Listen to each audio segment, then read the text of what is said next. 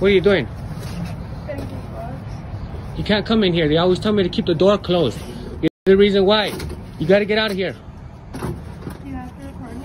Yes, I do, because you're on my time of the clock. This is my business. You're coming in a restricted area, employees only. Now I have to fucking close the door because you guys. I'm fucking trying to work and shit. You guys always going into my fucking place. Come on. Come on, motherfucker. Come on.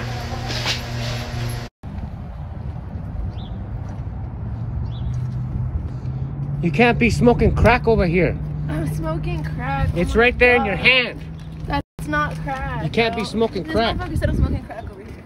No, she, it's probably just in the hand, man. She, she, she doesn't, it's not, she don't smoke that, though.